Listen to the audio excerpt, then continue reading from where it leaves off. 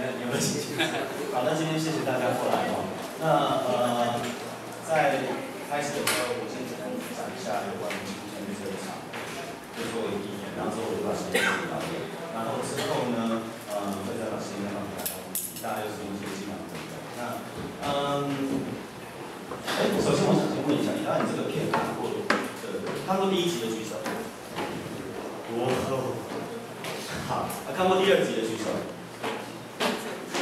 那你就知道了。呃，都没看过的举手。好，谢谢你，牧师的提醒啊。好，那嗯，今天是呃，我们当然是请李来讲有关他这两部纪录片。那在开始之前呢，我以主持人的身份，想稍微简单的分享一个工作上的事情。讲清楚一点，慢慢讲。哦，好，那好，OK，那我啊，我叫梁佳宇，然后我的几个兼差的工作之一是纪录片的采购，好，那帮台湾的一个发行商找国外的纪录片，然后呢，如果我觉得有不错的，就推荐给他，然后他就会看看说啊，那这个在台湾可能会卖啊，或者可能有人会有兴趣的话，那就去帮他跟国外谈。那在这个工作做了一年多哈，那然后有一个有趣的现象，呃，第一个其实当然这些片卖的都就就这样，大家应该都有点概念。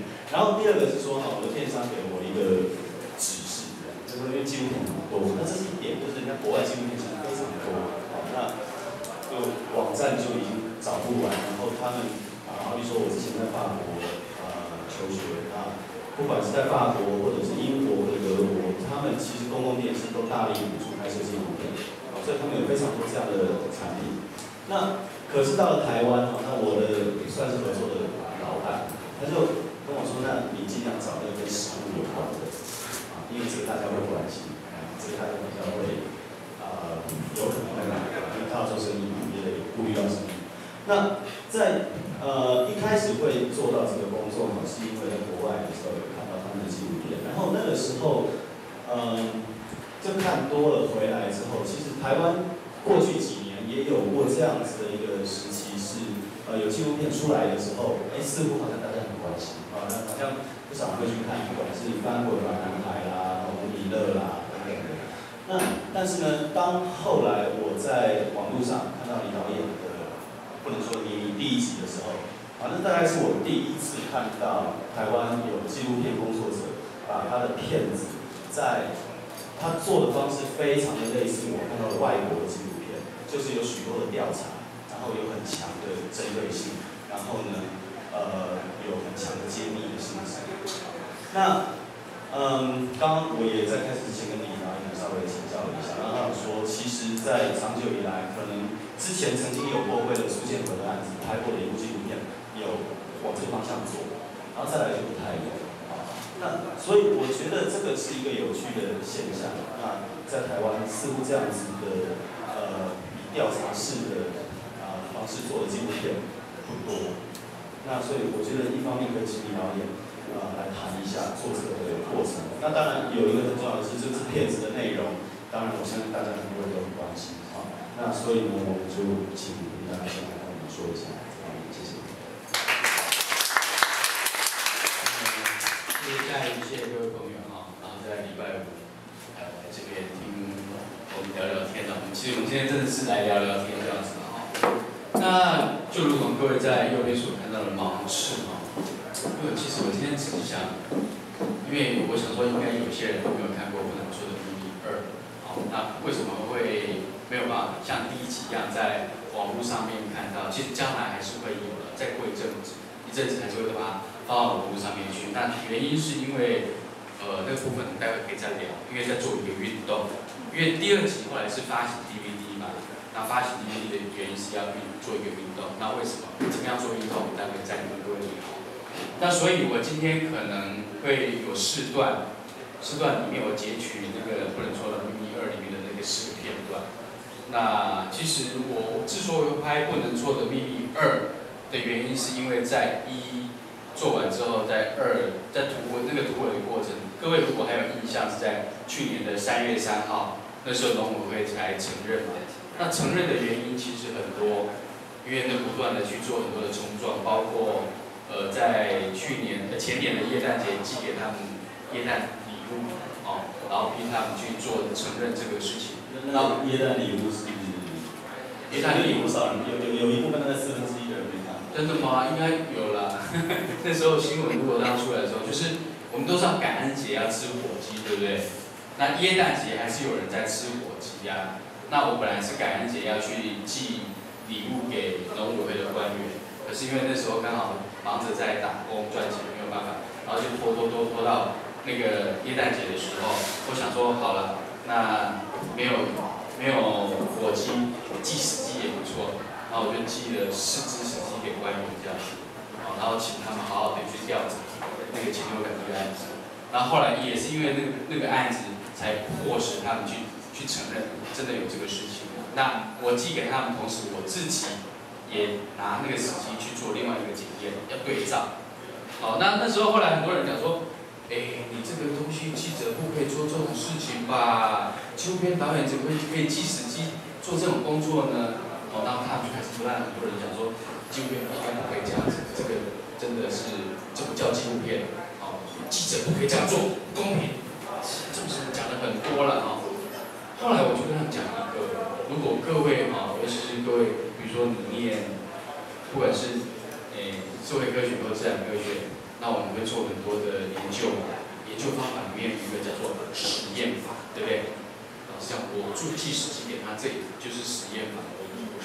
这是我自己定义的，所以然后才因为这样的一个实验才得到一些真相这样子哦。那好，那在那个过程当中，到后来农委会承认这个事情，后来开始做一些行政调查。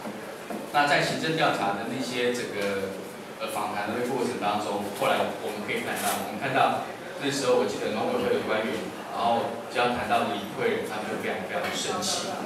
哦，为什么非常的生气？他们讲说，因为李慧仁在跟我们做访谈的时候，他说从来没有记者是这样子，还会揶揄我们。好，我说，哎，他的记者不可以，不可以揶揄，记者不能亏你们。哦，因为以前从来没有记者做过这件事情嘛，所以他们就很生气，说怎么会有这样子没有礼貌的记者，对不对？没有礼貌 OK。好。那第二个部分，他们就讲说，离婚人物的问题都很不文明。什么叫做不文明？我顶多只是问他们说，按你们这样子，你们是是怕死？按那里，然后叫做不文明。所以他们其实都非常非常的讨厌我，哦，包括现在也还是的，啊。那所以后来我就想说，其实很多人问我说，那李慧仁，你你你你离开主流媒体，那你立志做什么？我想说，其实很简单哎。我现在想最想做的就是励志啊，当一个角色，那个角色就是农委会背上的芒刺。啊，我我觉得说，一个人一辈子做一件事情，如果可以把那事情做好就好了。那我就立志能够当一根农委会的芒刺。如果你想要干嘛，就刺你一下，就这样子。好，我我就这样就好了。所以我就挑选了一些笨拙的秘密二的那个片段，让他们。非常不满意，然后非常，对，我也不能讲说是不是奶干的，来看一下，我们是不是来点一下这个一段来看一下。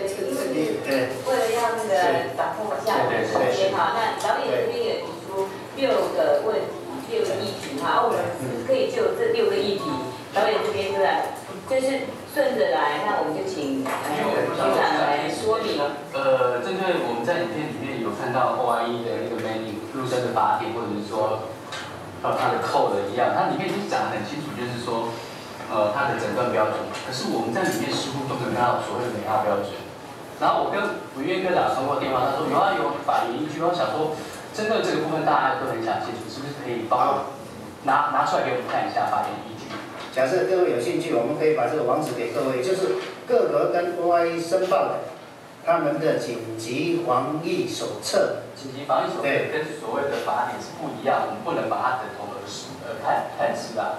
那请局长回答说，美澳的法律依据在哪里？还有美澳的那个部分诊断的标准，可不可以拿出来给我们看？不要空口。来，这个每一个人花一本，这个当然是每一个人花一本。那就是以前，我记得我们已经以以前都提供过了。他中名一直在讲临床啊，第第四页啊，麻麻烦你帮我们看一下，我们也画了线呢，而且就就在这一段里面哦，它不是在别的地方哦。对，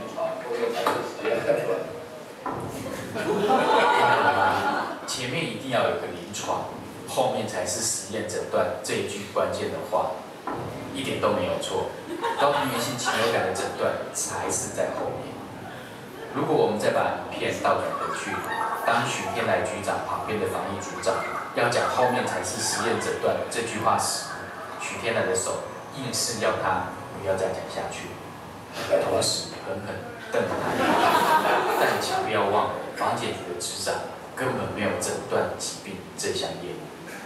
其实为了要戳破官僚的谎言，在这次的采访之前，我就已经收到 OIE 参考实验室的回函，上面清楚说明台湾的禽流感的确就是高病而为了怕现场的记者看不懂专有名词，被许天南局长恶意曲解，我也特地把它翻译成中文，然后发给现场每一个人。花了 O I E 感染绝对没有问题，局长不要听好了，连 O 好 O I E 参考实验室都这样说，你还要听啊？好，他他是连谢快乐在这你们开了三次会议里面都讲说那是局长坚持，那局长你为什么要坚持？其他学者有同意吗？因为我我已经提供那个其他学者有同意吗？当然会这个同意啊。那请你把学者表决的那个会议记录拿出来。这个会议记录拿出来。这个这个很。这不能这样问的，好，你有你会记录，你不要每次都会议记录都花了，在哪里？呃，就就是大家你可以拿出来给我们看，可以拿出来给我们看因为我我们不需要一定要这个哈。会议记录可不可以拿出来给我们看？谁说了？哪个专家？所有的记录拿出来给我们看，会议记录拿出来给我们看，谢谢。这个你假如是这样讲哦，那大家都讲不下去了。还有人这样子吗？啊，当然，我我觉得你应该下来是 这个。那这个啊，这个。你今天完全东西都没有办法拿出来，你还在那硬刀，你凭什么当黄点局长？我硬刀哪一点？你你告诉我，我硬刀哪一点？你说专家学者都有说的是低智力性，你拿出证据出来。我我不信啊，这专家学者就是对那个有怀疑啊，为什么跟现场不一致啊？我不是哪里？谁怀疑的？谁怀疑的？倒过来，你跟我讲谁怀疑？任何哪一个专家说现场对不对有发生高病原性的？那个。谢快乐教授说的是你坚持要的哦。那我我我不管什，我谢快乐教授也以前也是你的老长官哦。你你不要这样子。他说是你坚持的。我当然要坚持啊。老师说他说他没有这样子说哦。你赶快把那个专家学者的那个拿出来了，没有的话，我就说你就就赶快下台啊。谢谢哦，这个这个是你的指教啊，我只能谢谢啊哦。好，那就感谢了啊，谢谢大家。等我，那个这边还有水杯。谢谢，谢谢，哎，谢谢。对，局长，感谢感谢。我我知道，局长，我真的觉得说你这样。这个时间到了，自然回家。时间到了，真的感谢大家，好，谢谢谢谢。你这个哈，这个这一段其实是在影片里面其中一段，他们非常不舒服。然后我要跟各位报告哈，在这个访谈之前，其实我努力了大概两个月。那时候就不能错了，因为第一集在网络上开始播出的时候，我一直因为有新的施政嘛，然后就要去采访徐天来，然后拿着去跟他问的时候，他都不愿意接受采访。那时候跟我讲说，要采访可以，可是不能录音、录影、照相，不能录音、录影、照相，取消我要怎么样采访？这很夸张、很荒谬。那时候我后来决定说我不去的原因，是因为说，一般呐，我对公家机关的那个了解，如果我那时候我答应他了，不能录音录影采访，然后同时呢，他说来参加会议的人哦，总共不能超过三个人，等于说，能许天来一个，我一个，然后还有他的一个秘书帮我做记录，就三个人。然后那时候我就想说，如果我踏进去，我同意了，我相信关公家机关的做法是当时马上马上哦。发新闻稿说，针对李慧仁导演对我们盈利禽流感疫情的那些相关的疑虑，在某年某月某日的某一天几点，我们已经对你充分说明，已经对李导演充分说明据点，然后发出去了。发出去了之后，如果有任何一家媒体，或者是网络上有那些人引用，他的目的就达到了。因为散出去，大家就知道说，哦，李他已经专门跟李慧仁讲的，可是后面呢，发生什么事情，他绝对不会讲。后面一定是什么？李慧仁翻桌啊，然后怎么样啊？他都不会讲，可是他没有讲错啊。我们对他充分说明了，只是我没有告诉你说他不同意啊。我们常常会遇到这个状况，所以我就不参加。后来我就跟我朋友讲，我朋友说你真的很笨，你狗没一定该提。他要私底下找你谈，无外乎可能就有两个状况：第一个叫做威胁，第二个叫做利用。那你去，那很好，可以把它揭露啊。我说，可是不能录音、录影、照相哎。我朋友讲说，你怎样搞？基本上科技加发达，针孔摄影机就是想你把它听。然后我说啊，对哦，真的没有想到，因为是苹果日报，我没有带过苹果日报，没有那样的数据。OK，我我觉得还蛮可惜的，搞不好万一那个过程当中有很很很夸张或很荒谬的事情发生。好，所以后来。为什么会参加那那个这个会议？为什么弄了很久的原因，是因为后来郑春琪的飞碟午餐那个时候，然后找我去上上节目。许天来本来也要去，后来他没有去。然后那个过程当中，他被迫说，郑春琪就问他说：“那李慧仁要采访你，你愿不愿意接受？”他说：“那个房房姐觉得他们永远为你而开。”然后就约到约到那个采访，所以才弄了很久。他说一开始说：“哦，那个很不容易那样子。”可是那个影片，各位如果刚刚有看到的时候，是后来有发现说，除了我们去拍的纪纪录片，还有一台很专业的 HD 的摄影机，那还有一个泵杆收音泵杆，你们有没有想到他是谁？他是台大昆虫系老师的一个 HT 的团团队，他们专门在拍 Discover 那些昆虫很 high quality 的那个部分，那机器就两两三百万。那时候他在那边拍，我说奇怪，你们拍这个东西要干什么？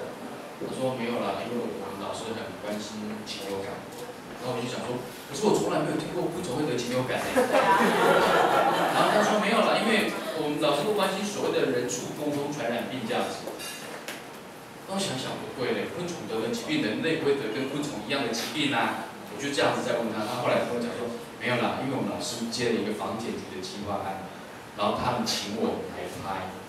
那通常就凸显出。通常老师接受一个政府，比如说政府的委托的案子的时候，有时候他请你做什么事情，他想说啊，都来都提给我去帮你拍，结果没有想到他拍完之后要做什么，我本来也不知道。后来到九月二十一号的时候，他们开紧急的记者会，原来他们剪了一段影片，哦，剪了一段什么影片呢？用两三百万的影片剪了一一段话，就是许天来局长讲说，那怎么样怎么样这样，然后就剪一段，有个人说对呀。接在一起，这样的影片，然后播出给记者看。然后那一天呢，记者就跟我讲，我就去踢馆。那踢馆了之后，我就拿拿了其他的资料去。然后后来就我在要求许天来局长把那些资料拿出来。结果后来在那场会议里面，许天来进，许天来局长他们进来拿了两千零六年的资料来充当二零一零年的那些专家会议。我一直一直以来叫他拿出来的部分。还被我们抓到，因为摄影机拍到可以做定格啊，那做定格就可以知道他写了什么。那许天来一打出，他就克谁？一个啊，没有那么厉害，一眼都看得到，然后就被我们摄影机这样子定格拍到。后来拍到这个部分，其实我我们都觉得说，这个部分其实某个程度来讲，它就是一种伪造文书。对，因为那个算是一个伪造文书，所以我就拿这个部分，我要求陈武雄，那时候啊那个那个农委会的主委是陈武雄，我要求陈武雄出来说明，接受采访。然后后来我就开始申请，然后隔了一个多月，陈武雄就跟我讲说，我们不接受任何采访，有问题你去找许天来。我说我要采访许，你为什么能够放任许天来局长去公然的违法？结果我要采访这个，你叫我去找许天来，那不很夸张吗？那后来没有办法，那我想说，那如果陈武雄不愿意接受我的采访，那我应该就要采访陈武雄的老板吴东义啊。我就开始要要跟吴东义吴东义约采访，那个时候是二零一一年的八月份，哦。八月份，那九月份开始约的部分，一直约到选举前、选举后都不愿意接受采访。我必须要讲，吴都义在禽流感这个案子，他完全知情。然后我们来看一下第二段的那些影片。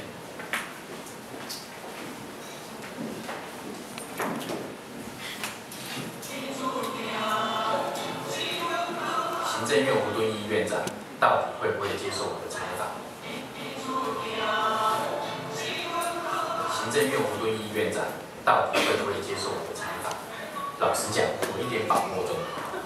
但百分之百可以确定的是，两个月后的总统竞选活动一旦正式起跑，如果我想访问副总统候选人，当然难于登天。假设这么重大的议题都可以这样子说，那那我们真的也只好用非常手段来呈现出那种荒谬性啊。啊，那那我假说，假说真的真的，假说他不愿意，那那假说院长或副院长也不愿意或没时间的话，那秘书长可不可以？那这个不行，我们只好真的只好去赌每个场子竞选这个这个跑的系统，我们都去赌，真的，我们都要把那个荒谬性呈现出来。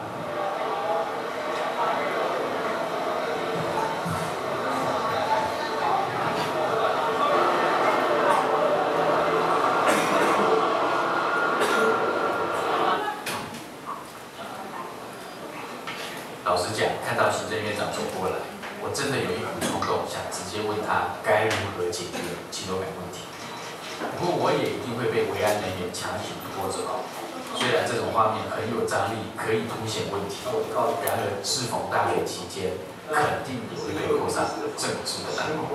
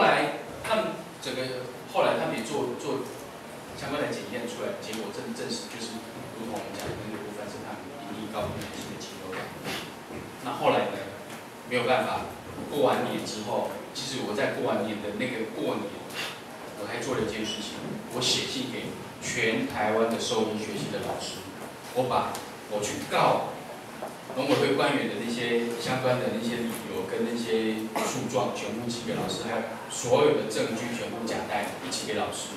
为什么？因为他们接下来开国会议，那我不知道是哪一个老师会去参加，就全部都寄了。就如同前几天那个狂犬病的专家会议之前，我寄信给全台的都是老师一样。哦，那后来过完年之后，陈武雄就被宣布要下台。陈武雄主委本来他以为他可以担任第一届农业部，没有想到他后来还是下台。那下台了呢，我就一直想要访问他嘛，他都不愿意。后来有个机会，就是因为他宣布要下台，他要跟记者查询。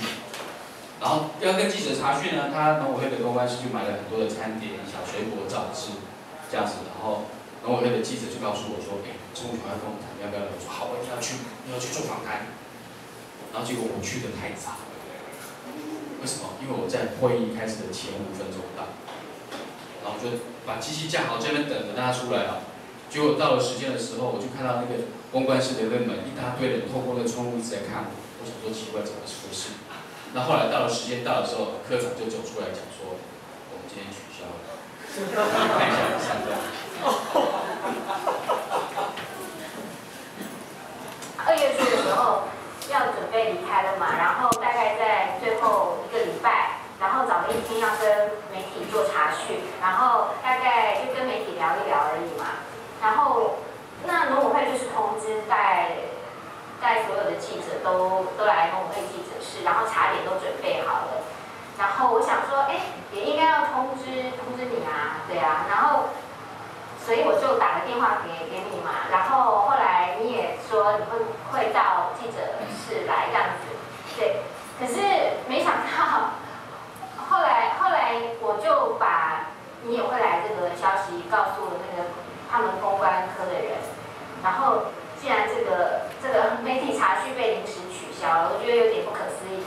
那因为我们也准备了，然后大家也来了，是不是就请大家用点心吧？好，现在就是不会来哦。嗯，对啊。好，谢谢。来，那请用，请用。用。啊。该不会是因为我来我也出来了？呃，我我没有答应要成为那个不能说的秘密的人员，表现这个比较使用，因为我今天没有化妆。啊，领导新年快乐，一起用，一起用。虽然陈武雄确定要下台了，但一月十九号他要求召开的禽流感专家会议。一样在二月一号照常举行。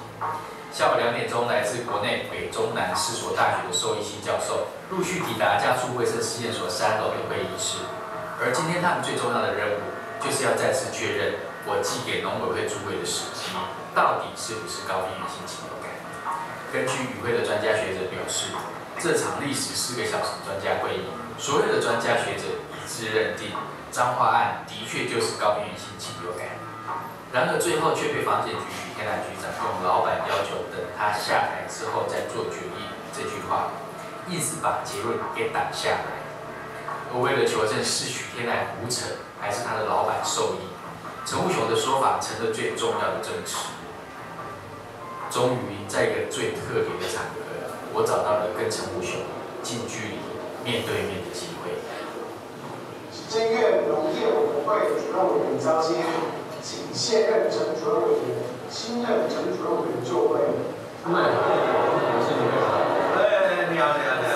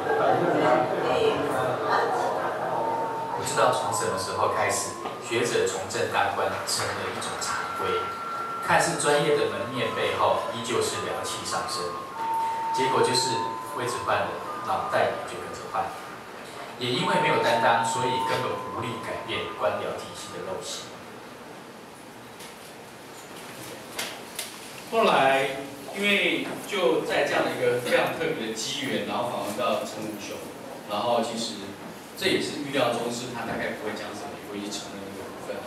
可是这个后到后来影片的部分，就会非常出现非非常荒谬的那个那个部分，包括陈武雄讲说，我在我任内的时候，我都不知道有禽流感这件事情。哦，我在那个时候都没有发生过，可是到后来，呃，所有的文件、那些会议记录出来的时候，发现他们根本都在说谎。陈武雄主委的手根本就是伸进去要干预那个结果，状况是那样子。那到后来呢，就到三月三号，这个事情一直在发发展。到三月三三号的时候，因为陈武雄下台了之后，然后那个呃，我在网络上，因为我。拍这个影片的时候，还有一些小的短片，同时在做很多不同的突围啊，我称之为突围。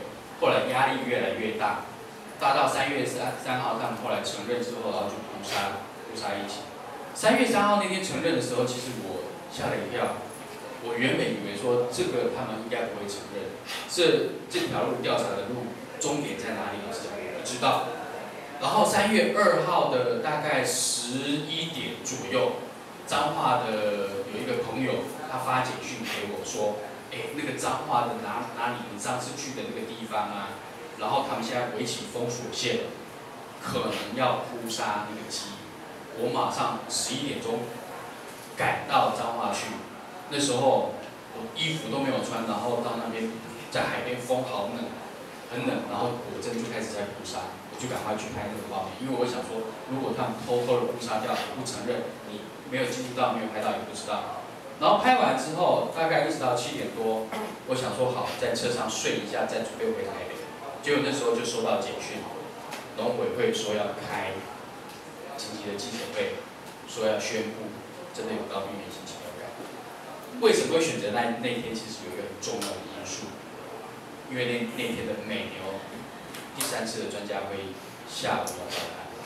那时候美牛瘦肉精的那个专家会那一天要召开，很合理的，他们想要用禽流感这个要转移，可是后来没有想到说越烧越旺，烧到后来真的快快撑不住了，他们又赶快再转移到美牛，第四次专家会根本不开了，本来不是说要开四次吗？连第三次专家会议的那些意见函都还没有回收的时候，他们不管了，行政院马上讲说就是要让他进口，就是不断的在做这种转移的动作。那也是因为在这个转移的过程当中来不及，所以禽流感这个事件才得以曝光。如果不是这个样子，我相信现在禽流感这个案件，我们还都被在蒙在鼓里里面。现在的狂犬病我们根本也不知道，因为他们那套盈利的系统会运动的越来越越顺畅。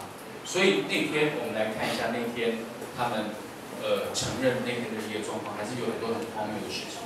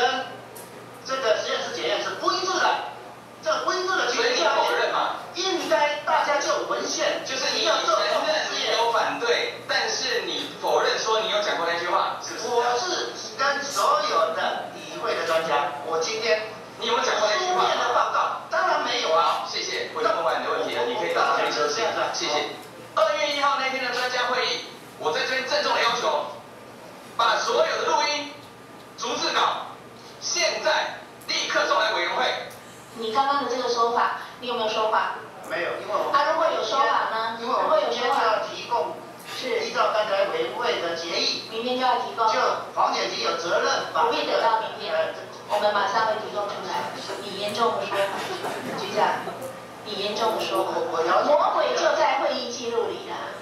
我们等一下，两位委员会提出。我我们最后的那一，这是一个，这是一个天大的。整个行政团队由上而下指示下来隐匿疫情的一个重大的弊案。这个委员这是一个重大的弊案，由上而下的指示下来，要求隐匿疫情的一个重大弊案，你还要都到这个地步了，都到这个地步了，你现在在这里还要说吗？等一下你就知道了。等一下你就知道了。专家学者不断的说，一定要立刻通报高院，就许天来局长一个人，一个人挡住所有专家学者，挡住家畜所的这些有良心的官员的主张。我们时间不就就两分。就就你今天那个许天来局长的答复是七遍立委，七遍立委表示我会吗？还没关系，那个才才三十秒吧，如果你记得。没有，我们是不是带时间放？不要说从我系统开的。我们的建议，今天在做，我们立即再讨论。我开宗明义今天说，这个所长也知道，他们说要好好的讨论啊。所以今天呢，我是不是荣幸我跟所长面，我是到了都在，大家在谈。然后这个现在今天明天我就来开始，我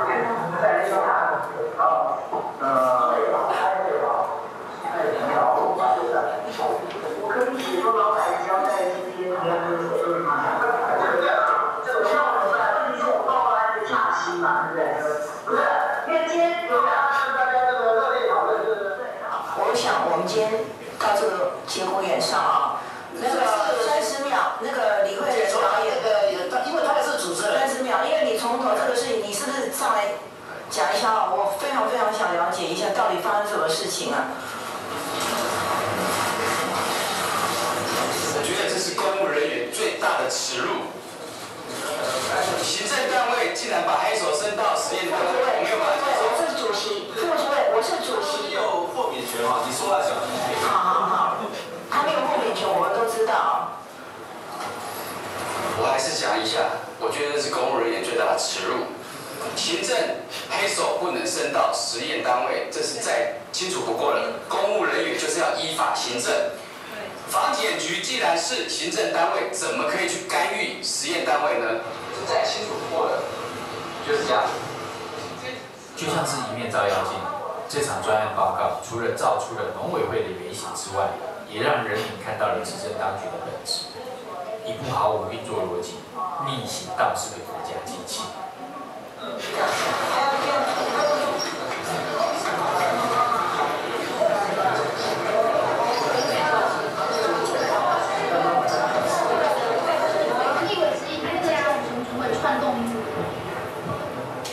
因为相关的会议都有会议记录，那我刚才也这个整个的这个会议的流程，那确实相关的请教单位已经采取了这些的这个资料的保全，其他要移送这个这个检检调单位保全这些资料，我们当然是这个尊重立法院的这个决议。我跟你讲，最好开会是在你们老板下台，我这你们老板这句话陈虎雄啊，你有讲过这个话？没有没有，你没有讲过这个话。刚才那个会议里面，所谓的这个换成老板，就是指的我们开会对于这个处理原则，就是两个原则，我刚才。就在雪天来被媒体包围的当下，我悄悄的离开了立法院，因为我知道这一刻开始，国家机器、官僚体系的反扑才正要开始。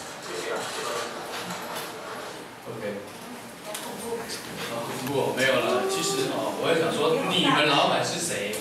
我就突然想到说，哦，我原本以为说那时候行政院有两个人上班嘛，对不对？一个叫做那时候叫做呃陈冲跟那个吴一嘛，我忘记还有一个，应该说你老公啊，你老公也是，他讲说行政院只有三个人上班，对不对？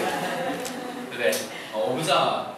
好，那其实，在那个部分哦，其实我我跟各位讲哦，非常奇怪的部分是，在那一天，其实那个我我不知道说那是不是第一次哦，因为那时候要去立法院的时候，三月七号、三月八号，然后立法呃立法院的经济委员会他们去办宪法，翻出六十七条之二，然后找找一些所谓的专家学者或民众去上台去接受咨询，所以我在讲这个部分的时候，我是在对照说像。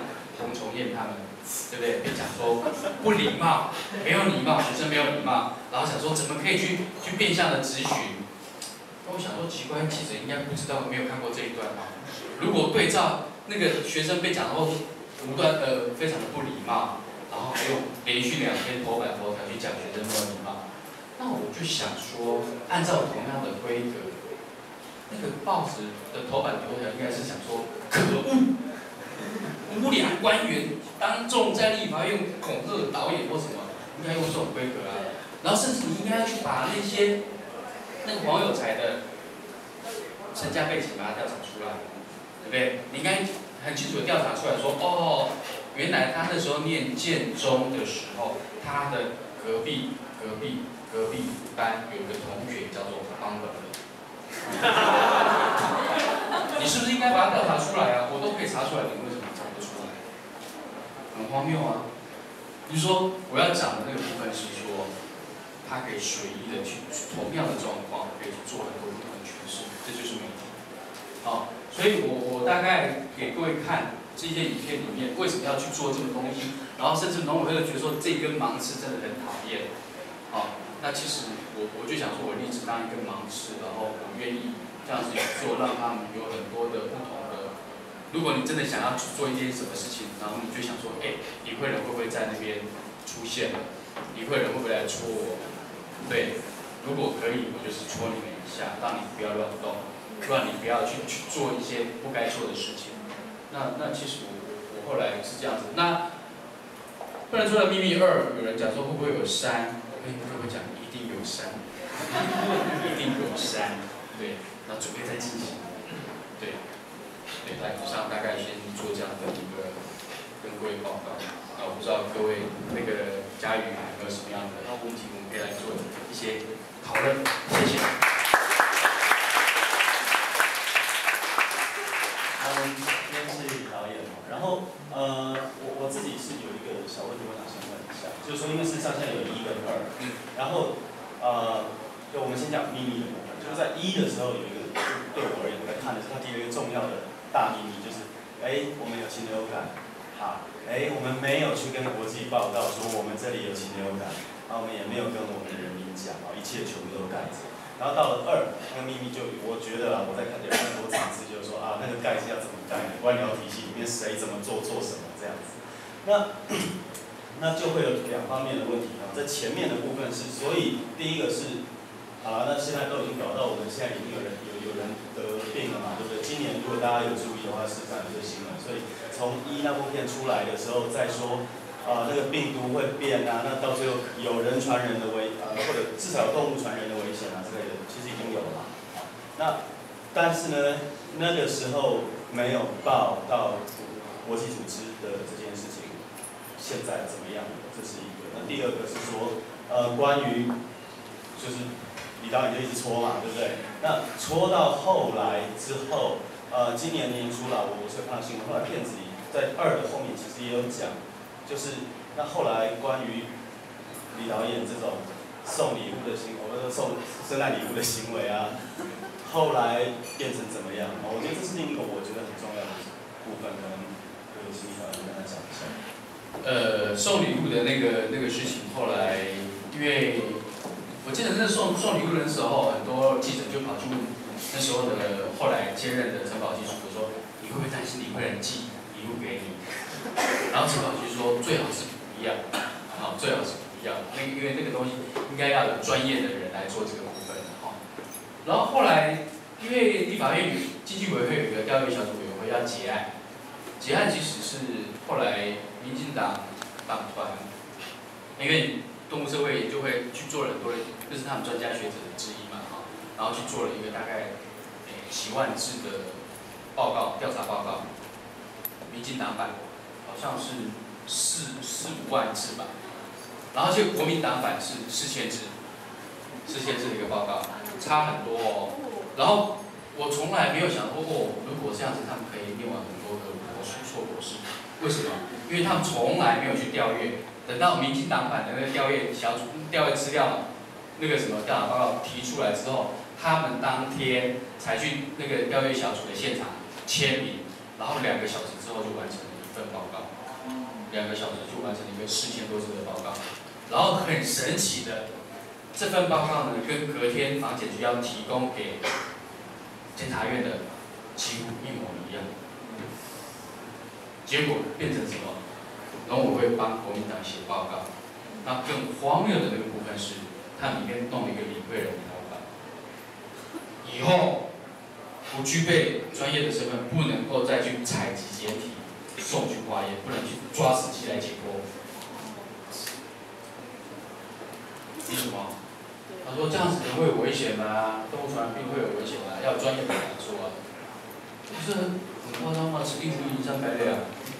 就是以后以后你要去抓死鸡就不行，因为也不能寄给他，所以就变成这个样子。那至于国际社会的那个部分，其实那时候有人问我说要不要把英翻成英文寄给国际啦，寄到 oi 寄到 WHO 了。其实那时候都已经翻好了，然后也都装到信封里面，一直没有寄出去。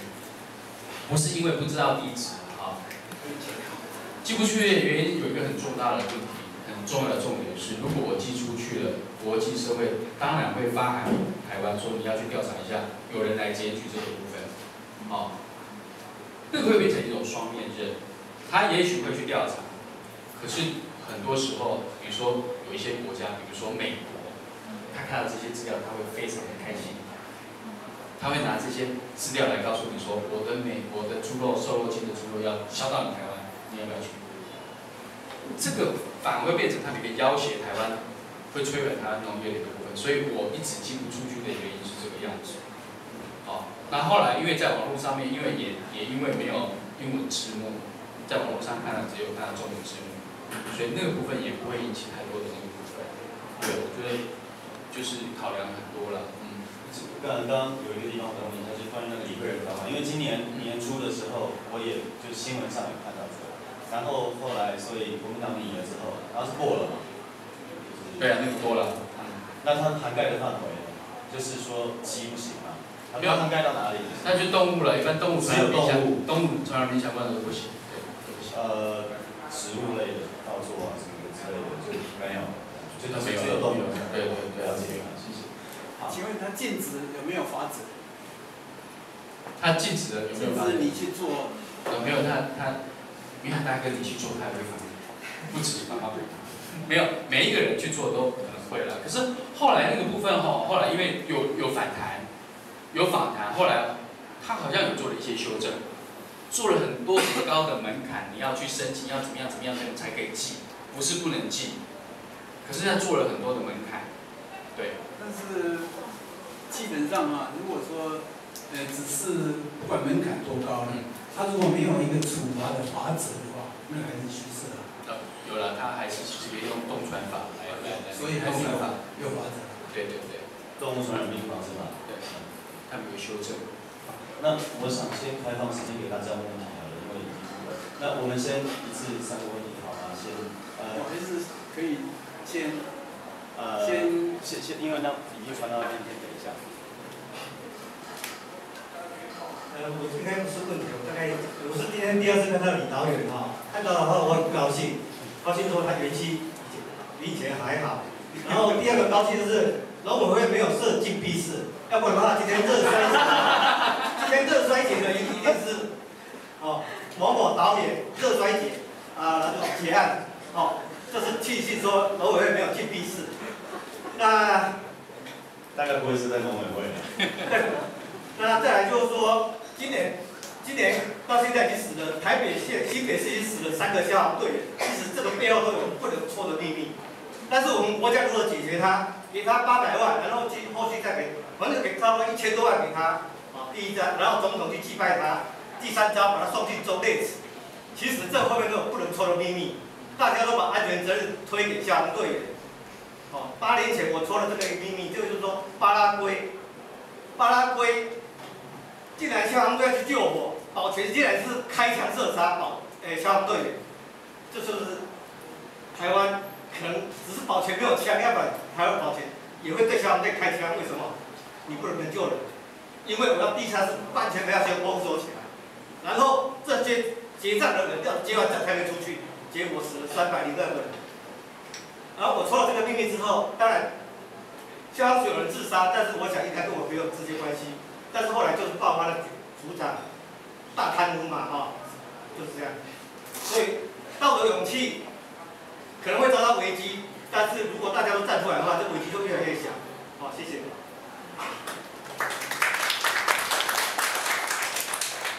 啊，那当各位先生嗯，这个李导演花了七八年的时间做的这些努力，这些成果。我们刚才已经给李导演掌声了，但是很重要的，在他的努力背后，有一个很大的力量支持着他。我们现在给他掌声。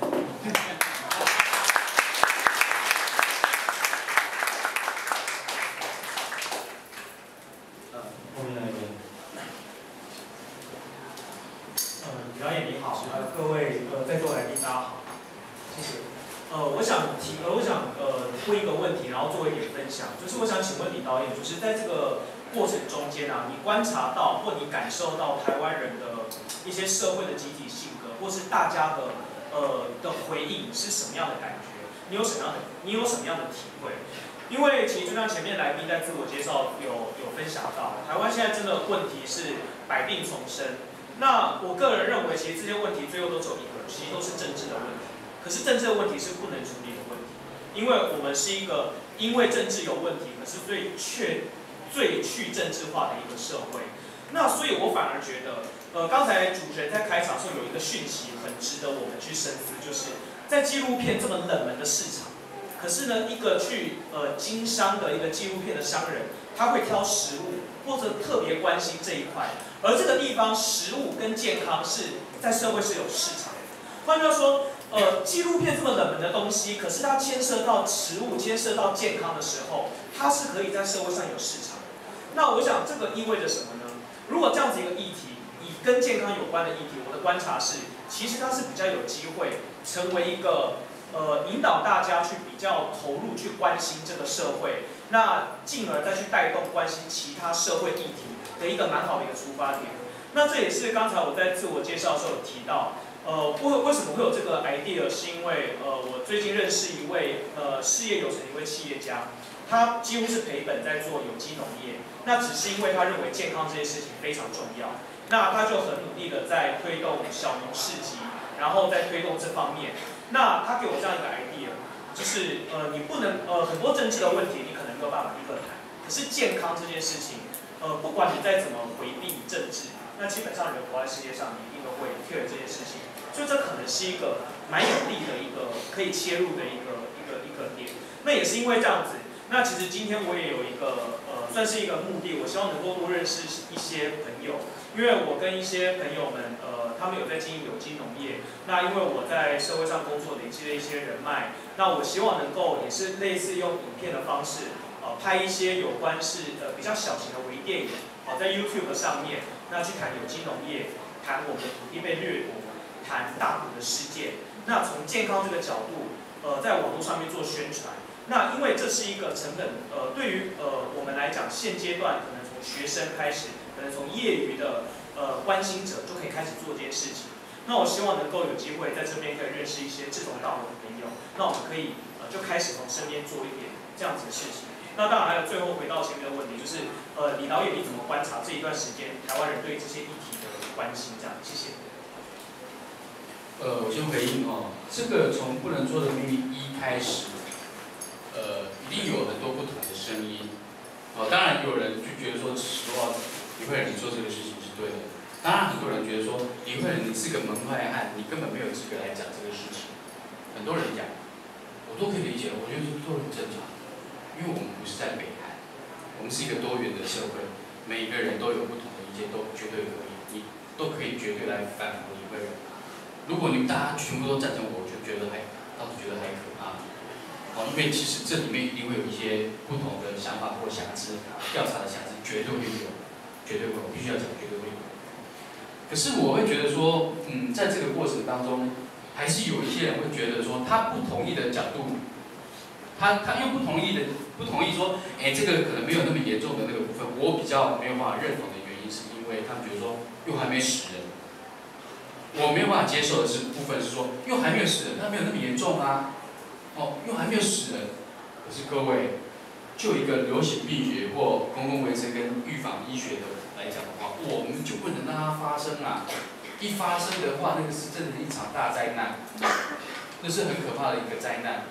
我们不能拿这个部分，可是我们台湾的很多的民众都被洗脑，啊，反正要被吸港啊，啊，反正还在鸡身上不会跑到人啊，不要去摸，不要去干嘛就好了。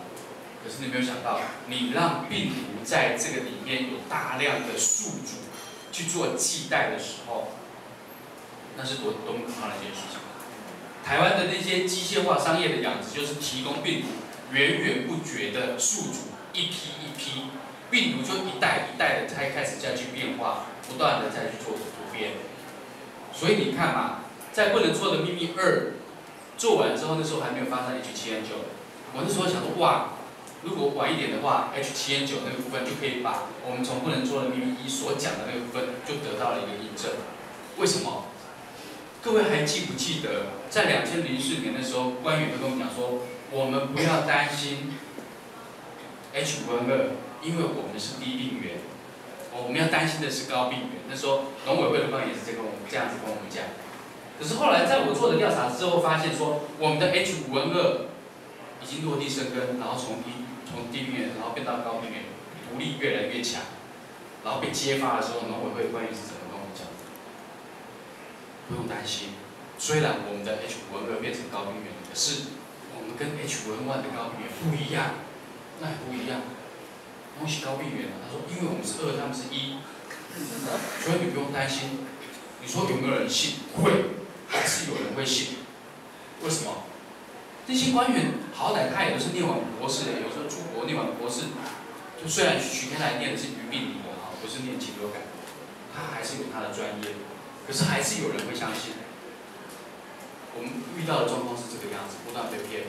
好，到 H7N9 发生 H7N9 的时候，为什么没？各位如果想一想，没有一个农委会的专家、农委会的那些说出来讲话，没有一个人出来讲。你为什么都不会讲说不用担心？我不用担心，它是低病原。对，H7N9 就是低病原。你一直都认为说不重要的低病原，它杀死了三十几个人。今年冬天可能还会再来。那你不是讲说低病原不用怕吗？为什么要杀死那么多人？你让病毒存在这个环境下面，它就会不断的产生变异。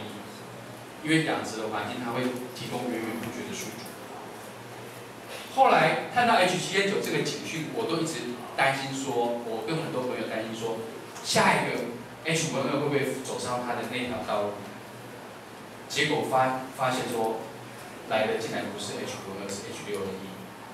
H6N1 其实比 H5 或 H 七型的病毒更稳定。它在台湾这个环境里面已经十四十年了，都没有怎么样。它存在鸡群鸟类里面，因为它很稳定，所以世界动物卫生组织、世界卫生组织都没有想说这个病毒我们要特别注意。可是没有想到什么，全世界只有台湾放任 H 五的那些低病原的病毒或高病原病毒，在这个环境在鸡群里面，结果没有想到 H 五 N 的这个病毒竟然去带坏 H 六 N 一，它去跟 H 六 N 一交换基因，H 六 N 一现在跨越速度去感染。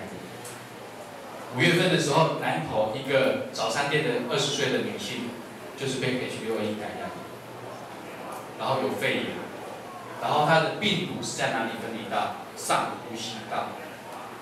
上呼吸道代表什么？它可能是阿尔法特六，这个病毒很有可能会传染给每一个人，就是可以人传人，的？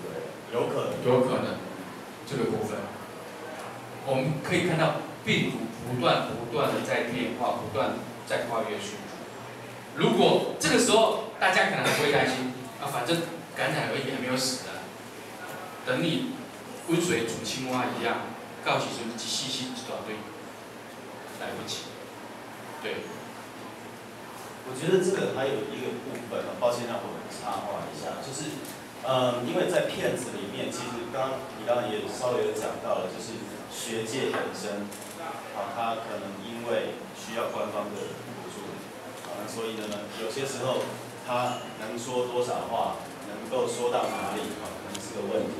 但是刚刚听李导演那边在讲，我就在想那个，因为对一般人而言，其实要，呃，好比说刚刚讲讲到 H 五、H 六、H 七，哈，这个我就已经还在想啊，那是差别是什么？哈，那高病原、低病原，就对一般人而言，要理解这个本身它有一点点门槛。那但是呢？呃，如果说他们就兽医的学界本身又跟房地群那边有关系，那其他的，好比说工位啊，或者等等的，他们会比较愿意出来讲话吗？或者为什么一直没有？而且事实上，在行政机构里面也不是只有他们啊，也有工位啊，为什么？对不对？这个很奇怪啊，他们怎么不讲话？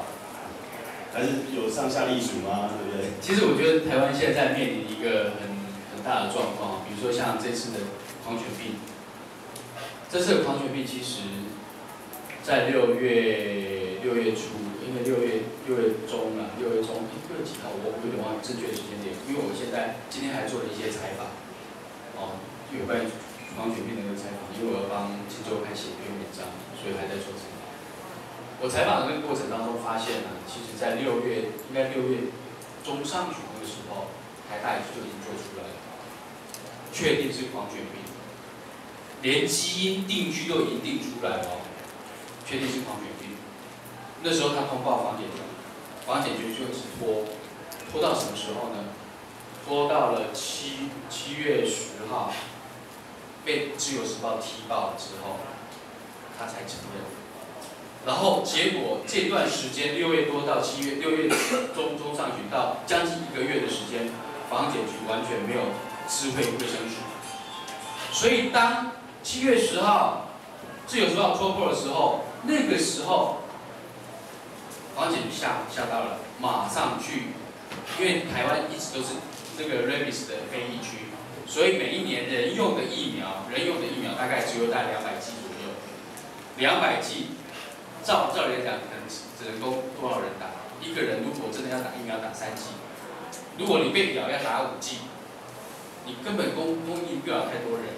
如果那个时候确定的时候，应该那时候防检呃那个什么疾管局应该可以马上去调疫苗，可能马上疫苗就已经进来了，不会造成现在恐慌。现在第一线的那些在南投特新特生中心的那些兽医师，很多人还打不到疫苗，他们都是高危险群的，他们打不到疫苗。那那些台北市兽医师工会、台中市兽医师工会，他们要打疫苗根本打不到。这就凸显出农委会跟卫生署他们协调是有问题的。从以前人畜共同传染病从禽流感开始，那时候我曾经私底下哦，私底下问 CD 呃不要讲说是哪里，就私底下问哦那个卫生署的官员问说这些事情很严重，你们知不知道？他说知道啊。可是我们每一次要跟房检局农委会房检局要所谓的鸡群里面禽流感的血清抗体的检测监测报告，他们都不给我。我说为什么？他说这是机密。什么？为什么是机密？因为抗体的阳性率都很高。抗体阳性率很高表示什么？病毒一直在活动。这是免疫学第一堂就告诉你，有病毒活动才会产生抗体，对不对？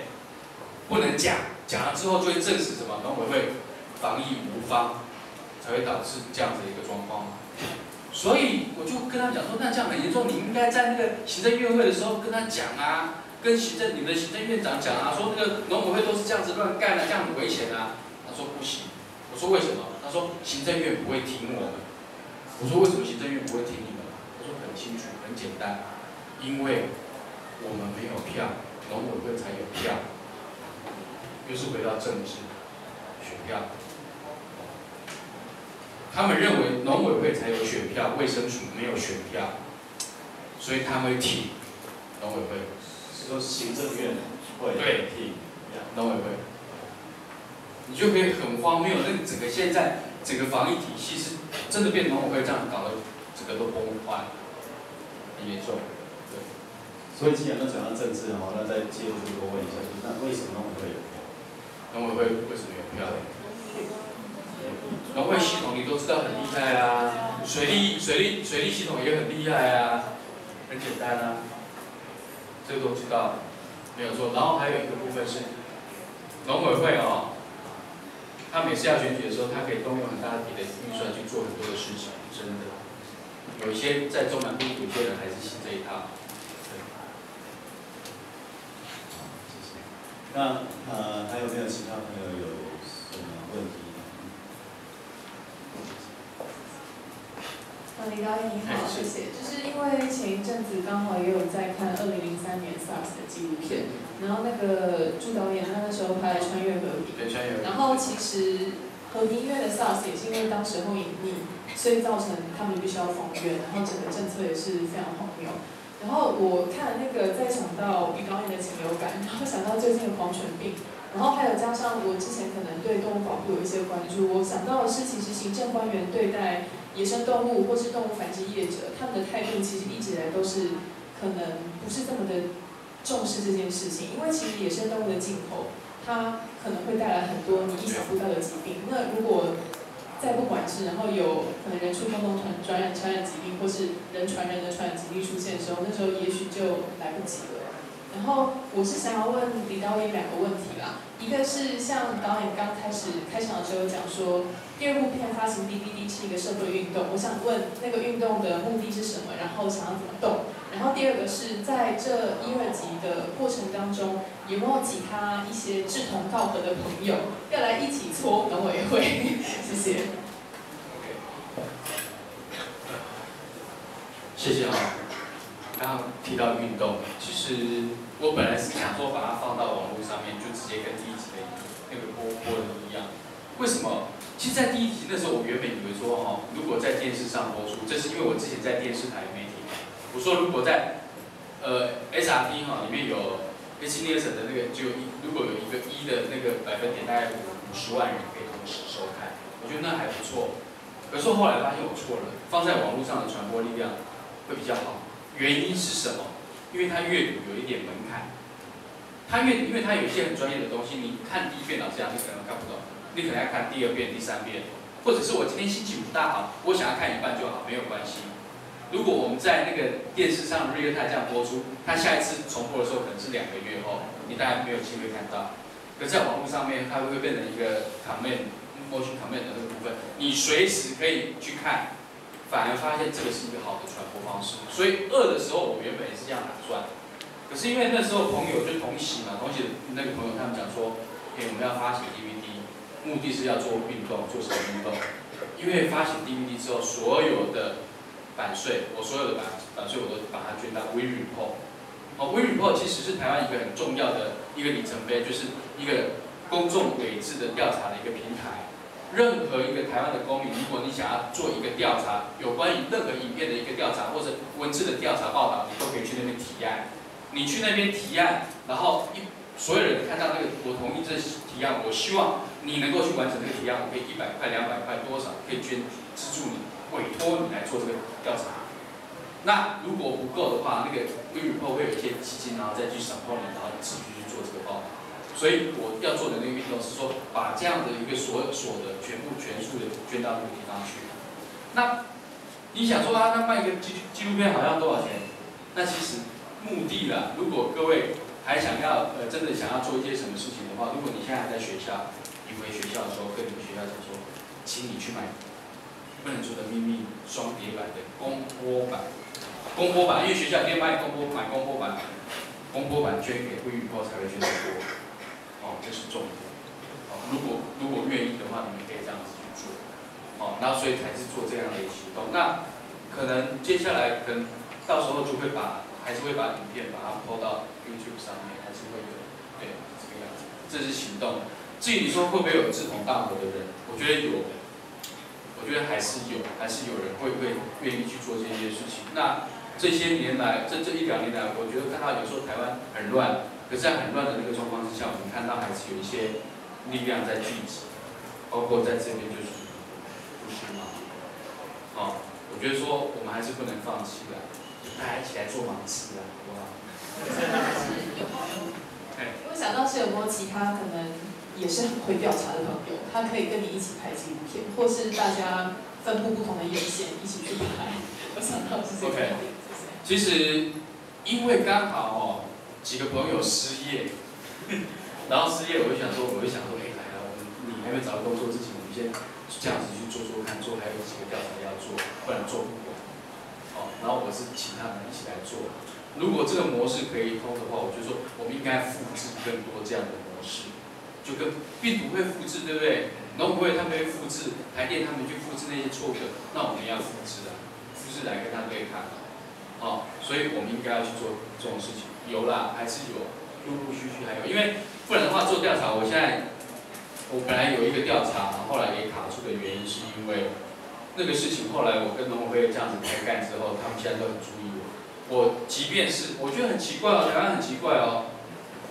那个农那个官员对于你曾经做过什么事情都会记得哦，你是那个农委会的那个。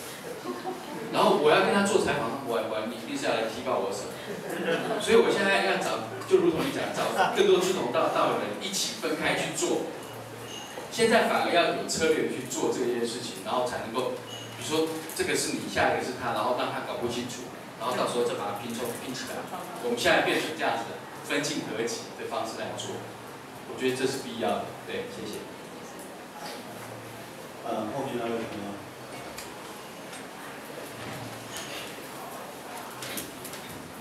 导演好，哦，我我刚才有在想一个问题，就是说，就刚讲一开始讲到那个狂犬病嘛，那其实以前也曾经消灭过狂犬。所以这个政府应该是可以做到这种事情，那为什么会变成今天这样？还有就是说，我想到以前有一件事，就是大概十几年前那个时候有那那时候政府也是大量呼扎，其实政府也是可以做到这种事情，为什么现在会变成这样？对不对？那我不太理解，就是说，在那个时候做这件事情的时候，其实搞不好是变成一种政绩，就是说，哎，这个政府真的有在注意这些事情。那为什么现在这个政府它的思维模式是，我不要让你知道，这样子才是对的？为什么会变这样？我就不太理解。你觉得你的观察，现在的官员为什么会变成这样子？我觉得第一个啊，先回答你黄血病这个事情，当然没有说五十二年前的时候台湾曾经有，后来就扑灭了。那那个时候扑灭，其实在那个时候日本也有狂犬病，台湾也有。那那个时候就是打疫苗。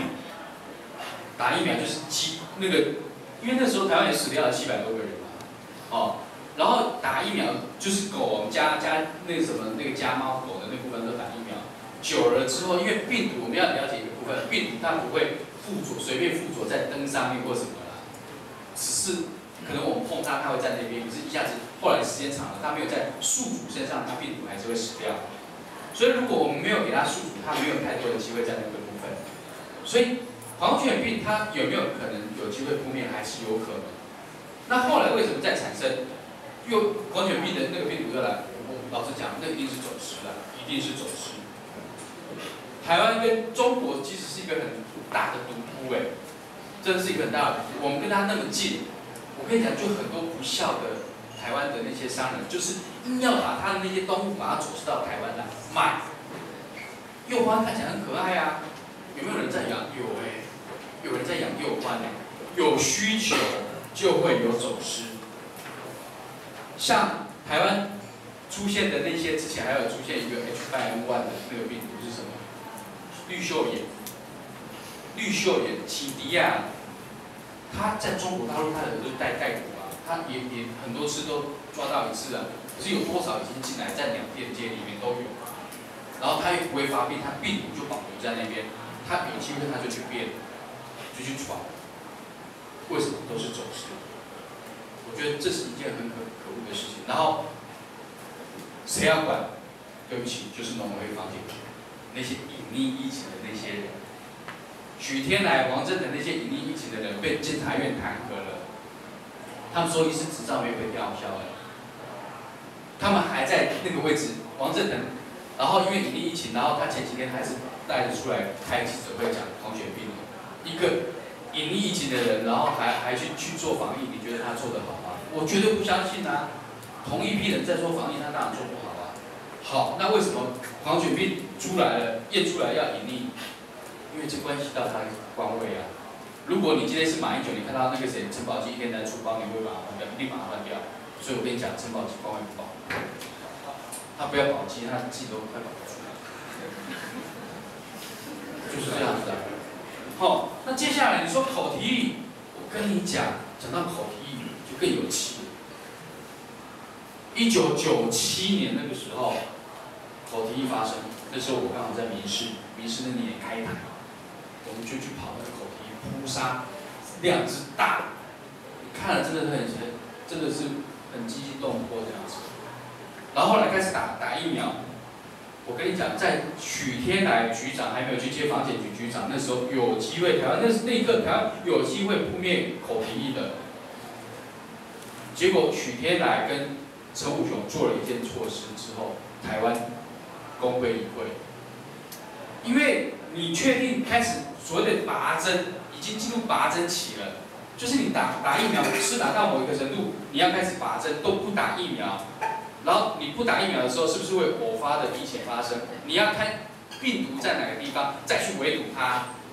所以这时候不应该要打疫苗了。可是因为陈武雄跟许天来当初是因为口蹄疫，一九九七年下台，他们怕，他们有阴影，他们怕再爆发口蹄疫，他会被人家拿来讲话，所以许天来跟。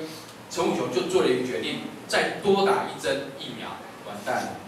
你没有，你学过那个部分都知道，不能只打一针呐，你都要拔针了，你要打你也不能打一针，一打下去完蛋了，病毒又整个都不见了，你没有办法去围堵。到现在，整个口蹄疫苗、口蹄疫、口蹄疫的那个病毒，你根本完全没有办法。跟你讲，菲律宾都已经台湾还没有扑灭，你比菲律宾还不灭。都是谁？这些官员一把病毒演出来，很可恶。这是我回答你的问题，谢谢。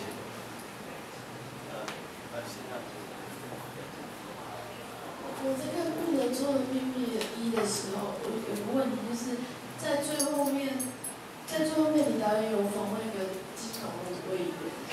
一嘛，对不对？一，然后就是导演有说，就是。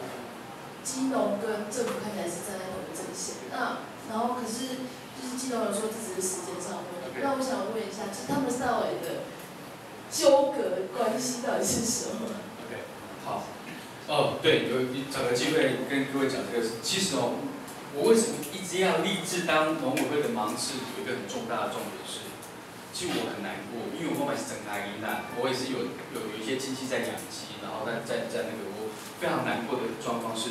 他们真的很可怜，很无奈。为什么？我举例来讲，农民为什么很可怜？第一个，如果我是种田的、种菜的，各位，我们来看，每一年都会重复的发生一件事情，叫做葱过剩、价格崩盘。好，然后那个什么青椒崩盘，什么崩盘，高丽菜崩盘。可高利菜崩盘之后，可能又几天之几几个月之后，高丽菜一颗变成两百块。为什么会这样子？中盘商空台，好，中盘商空台，对不对？中盘商空台可能它就是菜虫，你们知道高利菜怎么怎么样去炒到两百块吗？我跟你讲，很简单，我们今天每一个人都有机会都可以去炒，这是一个公开的秘密。我们今天每个人好几只，我们每个人几只两千万就好了，然后我们几只一亿啊，也许不用到那么多，我们就开始先去气做，找到气做高利贷的人，找这块气做找好了之后，其他的钱呢，把这一期的高利菜苗全部买下来，销毁就好了。等到高利菜这一期起来，而且质量能大，高丽贝贝，就这么简单，也不用做排山，菜头就可以炒了。我问他们的，他们说就是这样子。政府知不知道？农委会不知道？知道。还有为什么大家都抢种葱，然后葱就价格崩跌？农民讲说，哎，五年这期干做给呀，所以我们进长大也都给啊。那可是通常就价格崩跌。为什么不断循环这个事情？就回到一个部分，农委会的部门里面的功能都不彰显，这些部门应该都要裁掉了。第一个裁掉是什么？统计处。统计处统计应该做什么？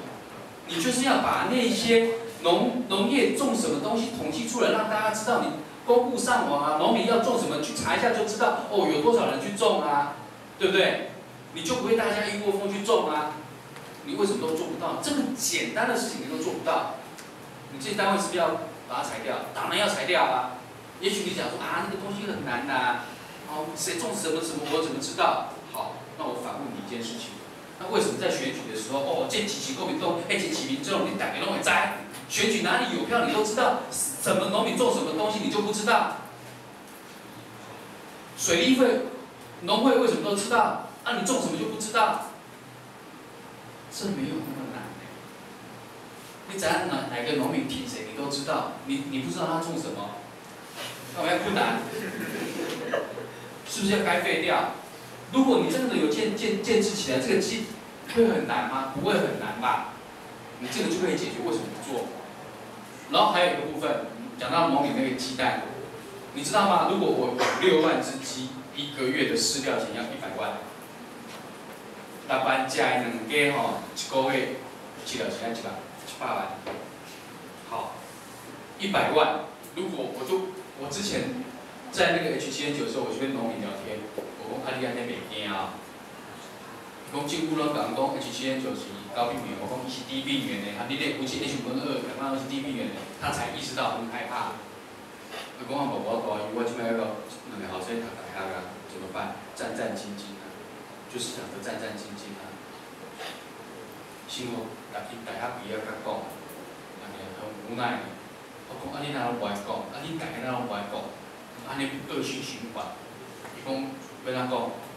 我知道一旦讲了之后吼，会发生什么事情？他说吼，会发生什么事情？很简单，六万只鸡啊，刚生六万的，六万颗蛋，你说好，不要每次生了生五万颗蛋就好了，马上就没有人来跟你收蛋了。马上没有人来跟你说蛋，你两天下来十万颗蛋，你放在那边，你会怎么办？你卖不出去呢？啊，饲料一直加，给买些吃饲料呢，怎么办？他说为什么没有人来收？对，他说你讲的时候很快，那个那在两个马就讲，哎，多久哦？我我给无线电工另外一收啊，完全被掌控，谁在掌控？谁有办法掌控？农委会。所以那个关系其实农农农民就很生气，你知道吗？他说不得已，他现在没有办法跟他站在一起，对不对？变成他的武器。什么时候真的面临生死存亡的那个关键，他们才会出来？可能就是回到二十年前的五二零一样的时候，官逼民反。台湾人很善良，台湾人韧性很够，台湾人都会有一一宽容人家。可是我跟你必须要跟你讲，这些政、这些官僚的那些恶行啊，他们就跟病毒一样，他们的本质都一样，只是形状不一样。很可恶，我对陆光一皮。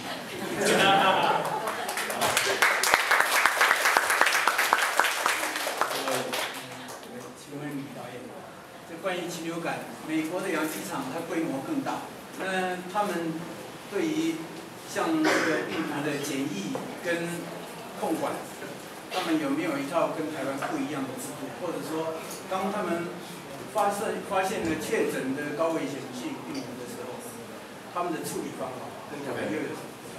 我我跟各位讲哦，台湾哦，我们为什么讲说台湾是独一无二的一个原因是这样子的，全世界没有一个国家像台湾一样，H 五或 H 五型的哈，OIE 或世界动物卫生组呃，世世界卫生组织说 H 五型或 H 七型这两种禽流感病毒你要特别小心，因为你不能让它存在这个环境里面，因为它很容易变，台湾就已经证明给你看了。可是，在台湾周遭的国家，日本、韩国那些国，不要讲说中国了，日本、韩国他们怎么样处理，你知道吗？日本以日本来讲，如果发现 H 五型的禽流感是低病原，一律扑杀。日本是一律扑杀，因为它不要提供宿主让你变。如果你发现抗体，抗体哦，不是分离到病毒，是侦测侦测到抗体，它叫做清场。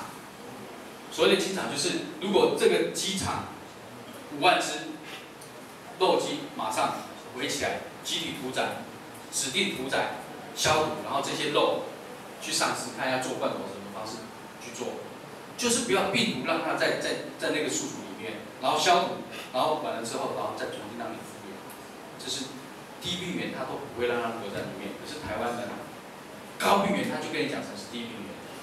那低病原呢？他就跟跟你讲说没有关系，结果呢就是这样子啊！你看到的是什么？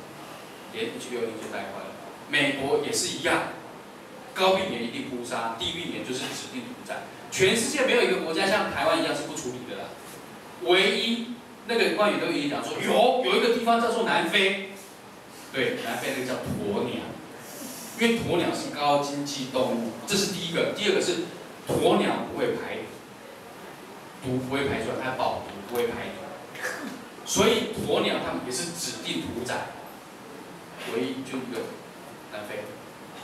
那台湾你为什么都要跟人家穿不一样？就是这些官员传出来，常常去研读那些什么那 O I 的规范啊，什么根本没有美澳标准，他要硬跟你讲说有美澳标准，叫他拿出来他也拿不出来，就是这个样子，就没有没有，全世界没有人像台湾这样搞的。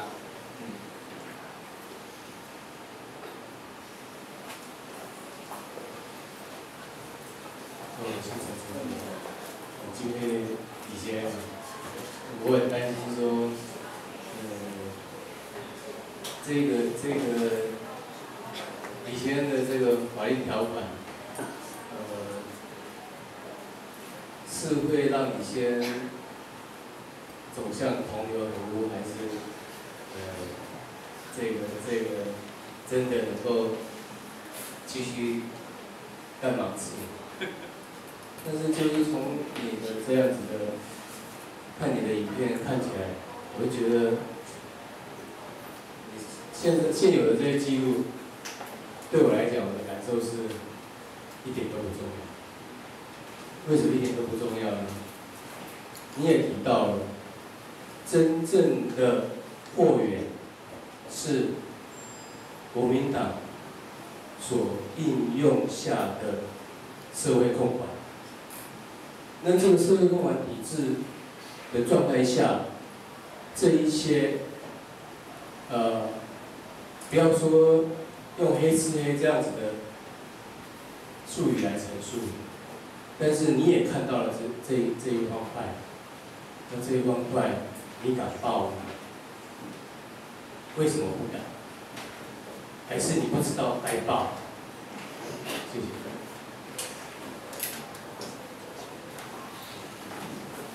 呃，也许是我是记者出身，其实我手上的资料哦，也许你可以讲说是弹药还很多，可是有些东西都还不成熟。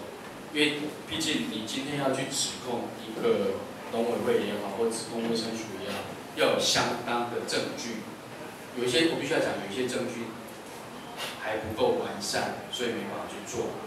如果我今天能够把那个结构的那个部分全部呈现出来，我现在现在在这边跟你讲，因为没有涉及到说谁谁谁，这是我们在做调查的那个过程当中会有一些讯息进来，那个脉络你大概可以清楚。